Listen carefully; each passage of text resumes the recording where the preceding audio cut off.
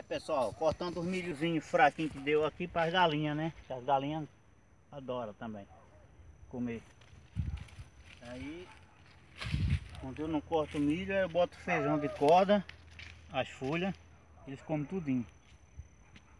Já limpei essa mandioquinha duas vezes, amanhã vou, vou começar aqui.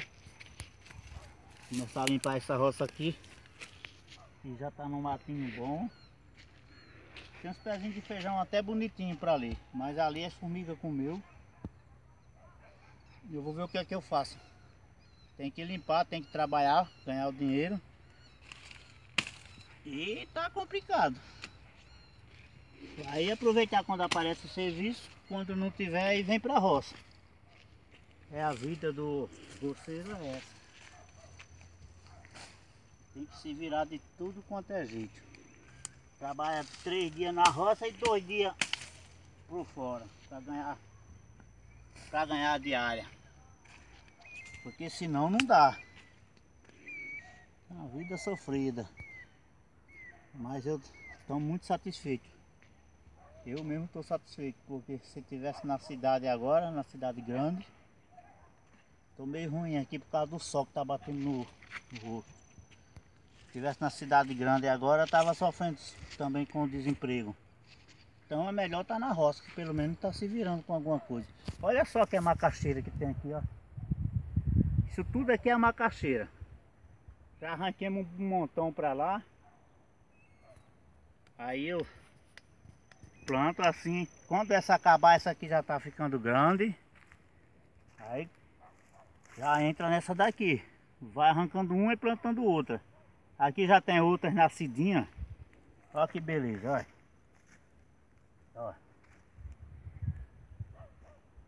Isso aqui. Tudo isso aqui é macaxeira. Então, ó a palma nascendo. Então é isso aí, gente. É o nosso dia a dia. Nós temos que lutar, se não lutar não consegue, como diz a história. Tem que batalhar. Cortando umas, umas palhinhas para as galinhas, né? Que elas gostam também, não é só para nós. Quando dá espiga a gente come, quando não dá, é as galinhas e os gados dos fazendeiros fortes. E a gente não vai arrumar briga, não vai pegar pressão com, com gente rica. Fazer o quê? De vez em quando os gados deles se soltam aqui, mas nós não podemos fazer nada. Nós não temos força. A força da gente é só a força divina. Os homens têm dinheiro, têm advogado, tem, tem arma, tem tudo. Ninguém vai botar a cara, né? Engraçado, um depois de ver que tá ficando verde.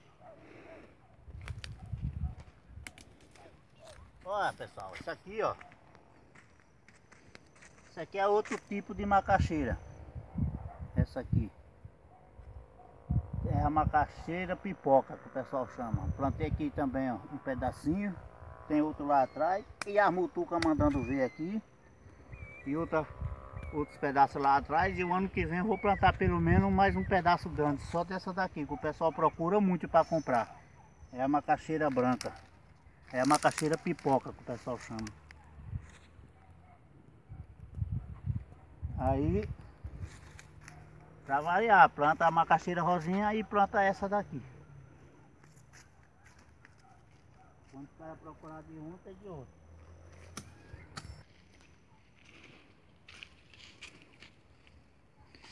É isso aí, pessoal. E lá vamos nós. Nessa semana eu estava arrancando mandioca do meu tio, que ele vende por tonelada, né? Arranquemos 40 tonelada de mandioca em dois dias. Muita gente, não foi só eu não, é 20, 20 pessoas. 20 e meio com eu, que eu não sou um completo. Mas aí hoje não teve serviço, aí eu fui para outro canto fazer um buraco de uma fossa. E amanhã vou trabalhar meio dia aqui. Começar a limpar o feijão aqui. Parece que o meu tio já quer que eu vá trabalhar lá. E pra semana eu vou ver se eu limpo isso aqui tudo.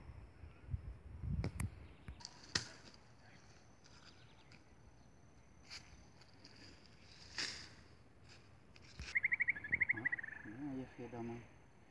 A mandioquinha plantei. Olha, tá nascendo já, ó. A mandioquinha já tá nascendo. Sempre gosto de deixar um pedacinho pra fora assim, que ela nasce mais rápido. E é isso aí pessoal, mais um vídeo. De vez em quando eu gravo que eu esqueço. e eu não tenho tempo de gravar todo dia também. Sai cedo de casa e chego de tardezinha, para vocês verem o sol já se pondo. Então para vocês um abraço. Deixe o seu like, compartilhe, comente que a gente responde. E que Deus abençoe a nós todos. Falou? Tchau.